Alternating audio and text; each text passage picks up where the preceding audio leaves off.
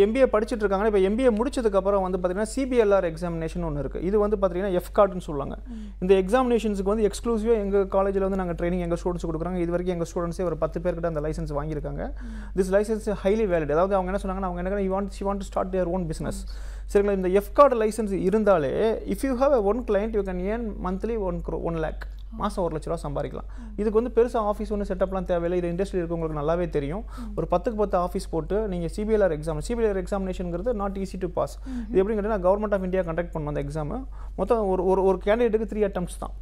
So இதுக்கு eligibility என்ன கேட்டிங்கன்னா ஒன்று எம்பிஏ எம்பிஏ முடிச்சிருக்கணும். அப்படி இல்லை அப்படின்னு சொன்னால் சிஏ முடிச்சிருக்கணும். இல்லை சிஎஸ் முடிச்சிருக்கணும். அப்படின்னா மாஸ்டர் ஆஃப் லா இது முடிச்சிருந்தவங்க தான் எலிஜிபிள் இப்போ இவங்க வந்து இப்போ இவங்க ஓன் பிஸ்னஸ் ஸ்டார்ட் பண்ணணும்னு சொல்லும்போது இவங்க எம்பிஏ முடிச்சதை வச்சு இவங்க வந்து அவங்க they can apply for this examinations இப்போ எங்கள் ஸ்டூடெண்ட் நெக்ஸ்ட் இயர் இந்த இந்த இயர் வந்து அப்ளை பண்ண போகிறான் ஒரு பையன். ஸோ இந்த எக்ஸாம் எழுதுனா மூணு அட்டம்ப்ட்டில் கிளியர் பண்ணணும். அதாவது மூணே அட்டம்ப்ட் தான். ஸோ ஃபஸ்ட் ஒரு அட்டம்ப்ட் கிளியர் பண்ணதுக்கப்புறம் there having interview with IRS officers IRS ஆஃபீஸர்ஸோட interview இருக்கும் கஸ்டம்ஸ் ஆஃபீஸர்ஸோட அந்த இன்டர்வியூவும் கிளியர் பண்ணிட்டா கிளியர் பண்ண இந்த லைசன்ஸ் இந்த லைசன்ஸ் இருந்தாலே நீங்கள் வந்து ஈஸியாக you can start your own business இல்லைன்னா இந்த லைசன்ஸ் இருந்தாலே பெரிய பெரிய கம்பெனிஸில் உங்களுக்கு minimum salary sixty to seventy thousand கொடுப்பாங்க. Oh